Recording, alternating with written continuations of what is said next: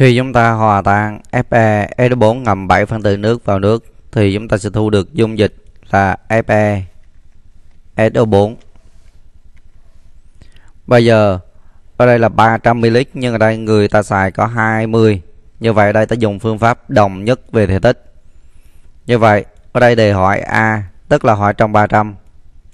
Do đó đây chúng ta sẽ biến đổi 20 này về bằng, về 300 bằng cách em lấy 20 em nhân cho 10 15 thì đây đúng bằng 300 khi đó thì tích đồng nhất.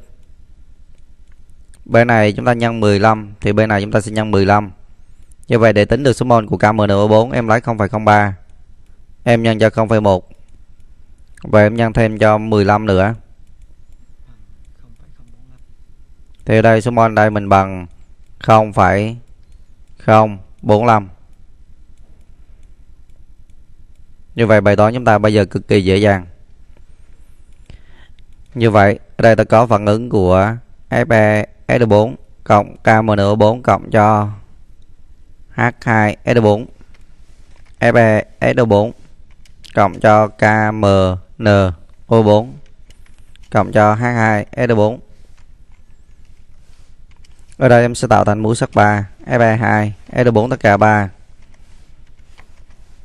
cộng cho K2 SO4 cộng cho MN SO4 cộng cho H2O.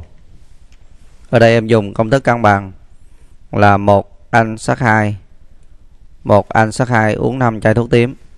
Một lần mol của Fe SO4 bằng 5 lần KMNO4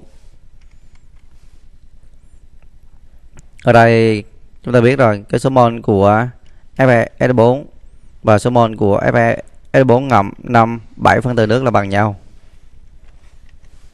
Như vậy ra vào. Ở đây muốn tính số mol này chúng ta lấy khối lượng là A chia cho M lớn của Fe Fe4 là 152 cộng 7 phân tử nước 7 nhân cho 18 và bằng số mol của KMNO4 là bằng 0,045 nhân cho 5 Giờ đây chúng ta rút ra được A bằng